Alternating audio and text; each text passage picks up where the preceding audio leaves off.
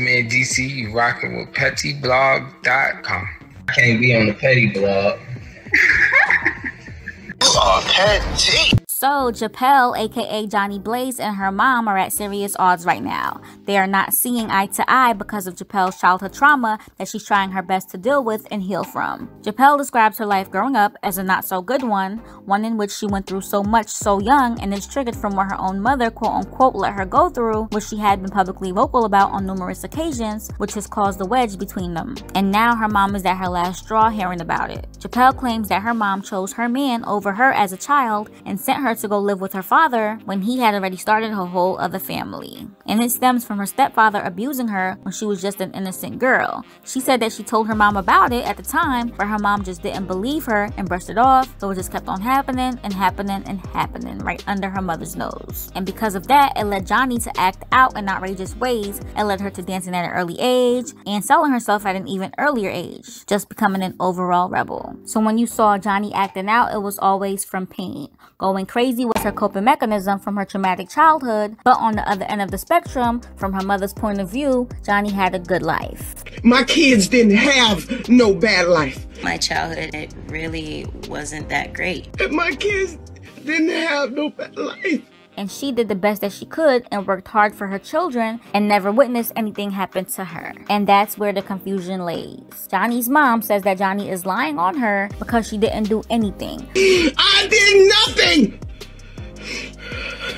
I did nothing! But Jhonni is technically trying to say the same thing that her mom didn't do anything after she told her what her stepfather was doing. Mm. You get what I'm saying? I'll do this to my child. Now, keep in mind that they have moved past that, and Jhonni took financial responsibility of her mom and siblings ever since she was dancing at like 18, 19. And it's mainly because of her mom's health issues. A close source of ours who we can't disclose has worked with her at some of the same clubs, knowing her since 2009, and that person can tell you that between me and y'all, even when she was homeless, while dancing, she was still paying her mama's bills because she values her and loves her that much. So she put her before herself. And I'm sure it's a vice versa thing. J'zapal even claims that her mother has apologized about the situation before and all that, but after one interviews too many of her continuously bringing her mom up, she has had it with her daughter. First it was the Breakfast Club, then it was the Maino show, now the Joe Budden show. Button shit! Which hasn't even aired yet, but is stirring up trouble. So at this point, she feels like it's a smear campaign against her. She feels like enough is enough, but to J'zapal, it's just the beginning of her healing process. Yikes. My mom, the guy over me. Scott did this, this, and that. Told your mother. She didn't also revealed that her mother and what she allegedly let happen to her was going to be the storyline of Love and Hip Hop many years ago, but she declined that offer because she didn't want her little brother, who was the son of the man who abused her, to get teased. Love and Hip Hop, they wanted to have a highlight on what my mom did to me. Mm. So she left everything bottled in. Look, it's evident that her mother does love her very much, and vice versa, but unfortunately, like many mothers, she may not have been aware that this was really happening. When you say I let you, that means I sat there and watched this shit. A lot of things are happening to many kids everywhere, and even as we speak, while their mother is right in the other room distracted, and it's all because the person doing it is so trusted that the mother is oblivious to the pain that their innocent child is going through and is suffering in silence. So please, y'all, check on your kids. Y'all never know what they are going through. But in this instance, it was a stepdad. But in reality, it could be anybody. It's never an outsider. It's always someone who you trust, okay? Sadly, you can't trust nobody, especially with your kids. If you gotta set up some cameras for when you're not around, so be it. Because you'd be surprised what trust can get you into. But yeah, based on Jhonni's transparency and the person that we know who knows her personally, we doubt that J'zapal is lying about her experience with her stepfather. I mean, she's honest about her personal life down to her surgeries, whether it's what she's been through. She doesn't have any shame down to her nose job. So, yeah. I'm not understanding how a person can switch it and make it seem like I'm wrong for speaking about something that happened to me. And we can also tell that her mother is a good person. And we know for a fact that she is woke. However, it is clear that she had no idea that it was really happening from her perspective. And J'zapal saying that her mother let it happen when she was young is giving her mother the impression that she is trying to say that her mom trafficked her. So her mom is fearing the possibility of jail right now, being as though the state where it happened at, Florida, has no statute of limitations. Mm. J'zapal does claim to have been trafficked, but not by her mom. Do this to my child. I was snatched at 14 in prostitution. Yeah, like human trafficking? Yeah. Mom picked a guy over me. But right now, J'zapal feels like she's being forced into silence. She wrote, Someone told me keep things private, and lately it's a lot that's been really hurting me, and I haven't said a word. I'm narrating my life. Whatever I place out is what they know, and will only know that. This is my way of thinking. I'm numb to pain and drama. All I want to do is sing and heal. It will always be hard when you're almost there. That shit hurt and it's cool. And that's her reacting to her mother. My daughter talking shit about me, right? That I let her get raped. All these fucking lies and shit. This is fucking lies. Record this motherfucker. Screen record this bullshit. Record this motherfucker. I got two fucking sons other than her that don't say shit about me. Record this shit till motherfuckers wanna talk on these Breakfast Club. Motherfuckers wanna talk on these talk shows. All this shit. You don't see me talking shit. I don't say a goddamn thing. You know why? Because my character speaks for it fucking self. I'm tired of being lied on. A dog get tired of being kicked. So run and tell that shit. Run and tell that shit right? Because I don't give a fuck at this point in time. I don't care. A person that love you don't fuck you up like that. Why the fuck would I tear my own children down, my own seeds? Y'all think about that shit, right? People quick to want to talk, talk this shit. I ain't with that drama shit. I ain't with that drama shit. And this shit is painful. It's painful to sit and watch your own fucking child tell you to fuck up. Your own child destroy your fucking character. I'm not letting that shit happen listening to that Budden shit, listening to that Breakfast Club shit. I work too motherfucking hard in my life. I have sacrificed my own life for my fucking children, and that's real shit. Do you know how fucking painful that is to know what you have sacrificed in your fucking life, and then your own fucking child tear you the fuck down? Yo, of y'all understand what the fuck I go through. I'm tired of this shit. And I'm not gonna stay quiet no more.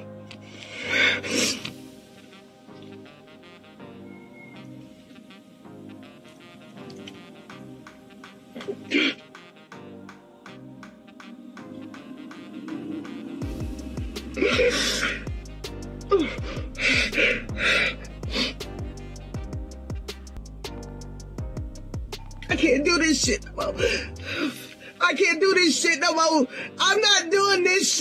No more. You understand me? I'm not doing this shit no more. I stay quiet long enough. I'm not gonna do this shit no more. I'm not doing it no more. And I'm not gonna feed into it no more. I got too many fucking health issues. I'm fighting for my motherfucking life. And all people doing is talking shit. Don't know me. You don't know me.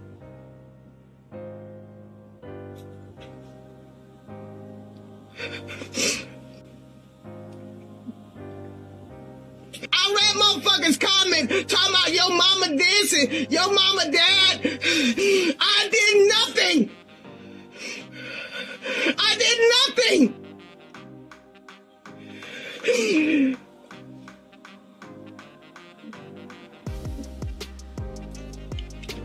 How can you destroy somebody that love you? That's what I'm trying to tell you. Love don't hurt. You know what I'm saying? Love don't hurt. You understand me? I have been shown real love, and love do not fucking hurt you like that. Love don't hurt you like that. And I don't need, I don't need the sympathy. I just want people to understand my fucking character speaks for its fucking self. My character, my character. Look, to keep them from doing drugs. I'll uplift my people. Why the fuck would I tear my own fucking children down? Why? Tell me that. I wouldn't do no shit like that. I wouldn't do it. And I'm tired of people doing this shit. I'm tired. I'm not gonna fucking take this shit no more. I'm not. I'm too much of a fucking strong woman for this bullshit.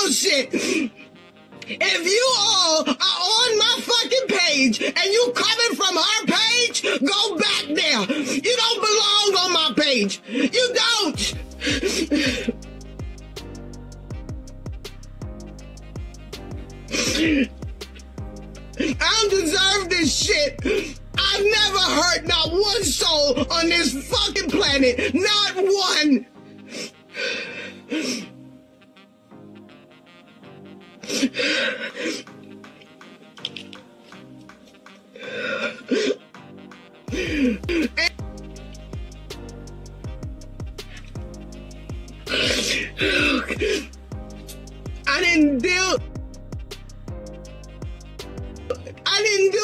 this shit that is being said about me. I worked three jobs with my children. I didn't have no fucking help. I worked, busted my ass, and went to school. I got a license to work in the hospital. They didn't eat no goddamn cheese and mayonnaise sandwiches. My kids didn't grow up in no fucking projects. I did. My kids didn't go to Germany. I did. I traveled all over the world. I made sure that my kids had a good life. My mama and my stepfather is well off. They are affluent, melanated people. My kids didn't have no bad life.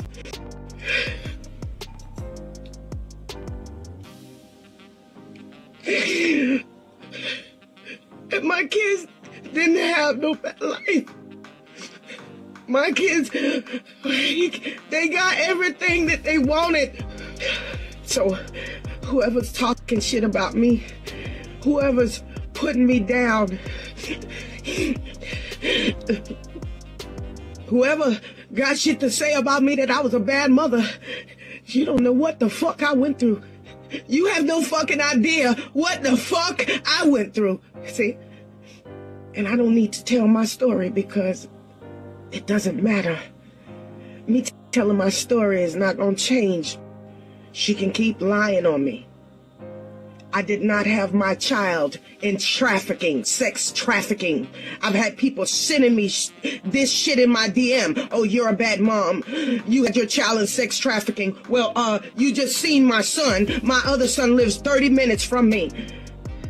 If I had somebody in child sex trafficking, I would be my ass in jail right now because Florida don't play that shit with children. I never did no shit like that. I didn't even know what it was. I had to look it up.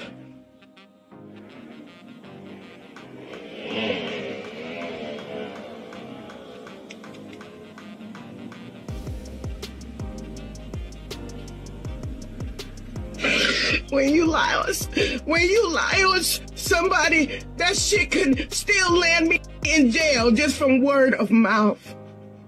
Florida has no statute of limitations on sex trafficking. Right. No limitations. I know my law.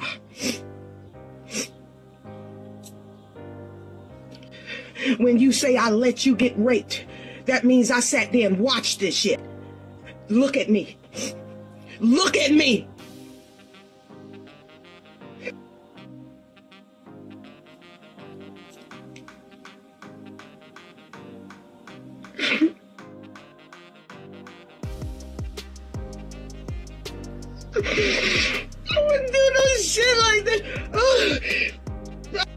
That's fucked up. That's fucked up. That's, and then you say you love me. You say you love me, but you fucking tear me up in front of millions of fucking people. You tear me up.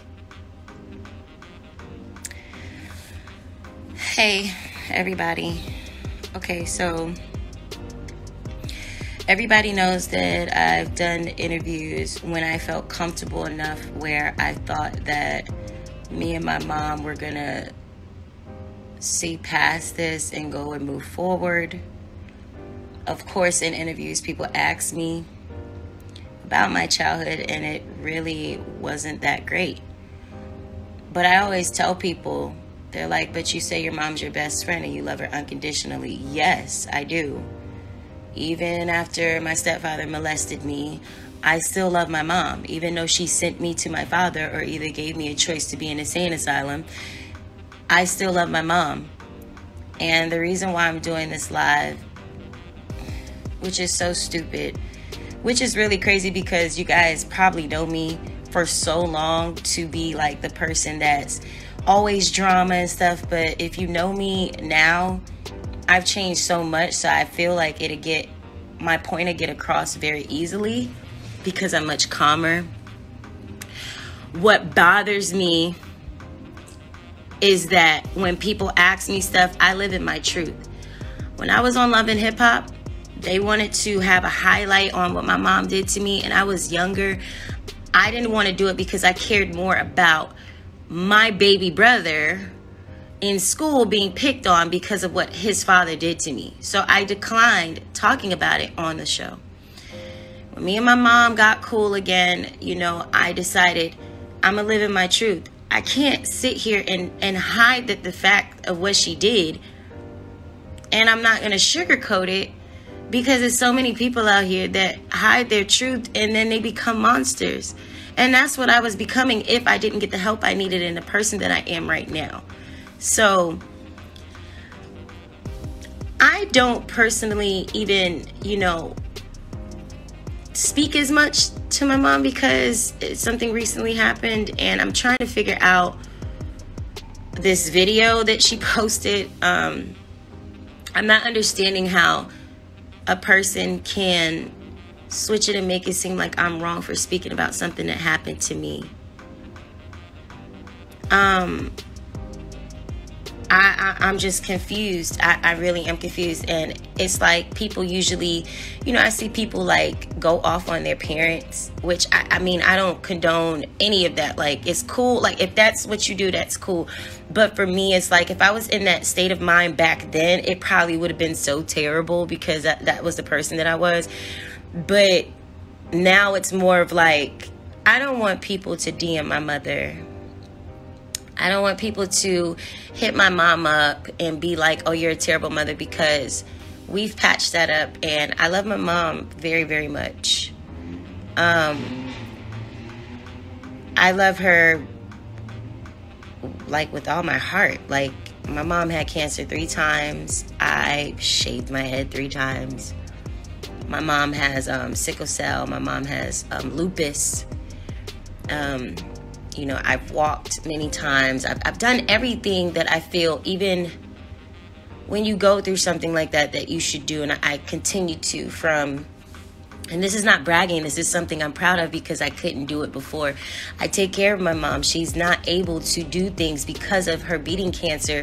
You know, my mom worked as a nurse. She cannot work as a nurse when you have epilepsy and seizures, you know, and stuff. So the right thing to do you know, is to take care and love people. And that's what I do. And people are kind of confused on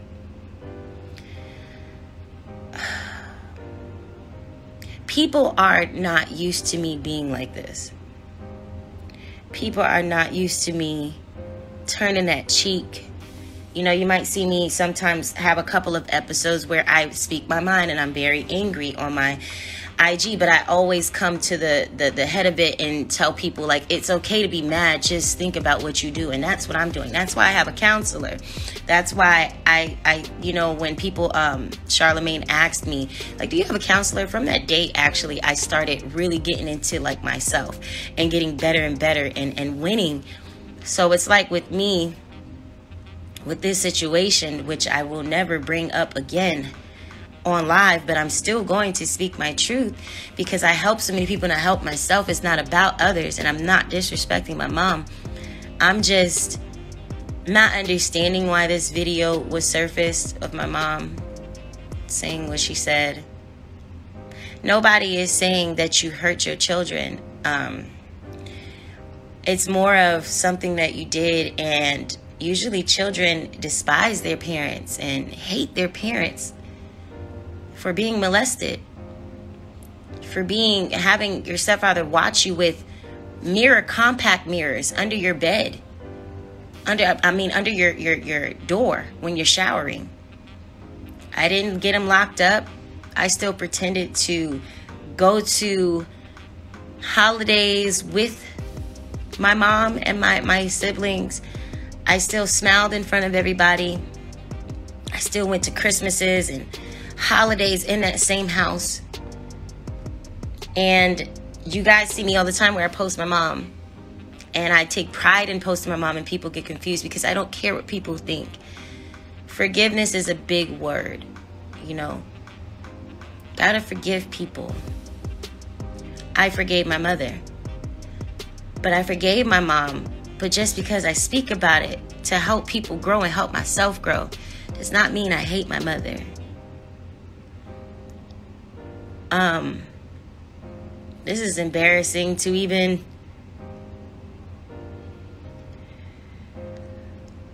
to even um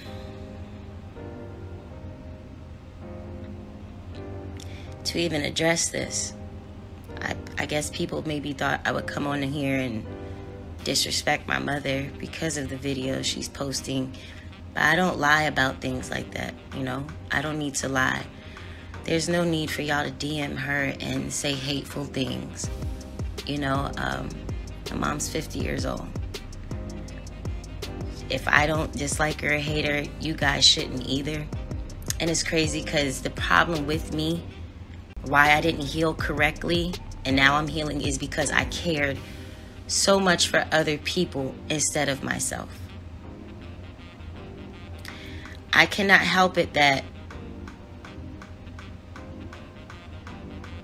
I've changed and I'm I, I've grown.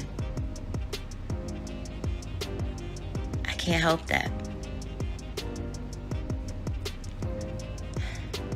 I cannot help that I want to be happy. I cannot help that I want to grow. I cannot help it if other people don't see that. So I'm just, this is my last time speaking on this. I will not speak on this no more as far as addressing about what my mom and me have going on. Now, as far as me with interviews and stuff, I will continue to speak my piece when it's asked. But if I forgive her, so I want to um, say I encourage people to be great today. I encourage people to be uplifting.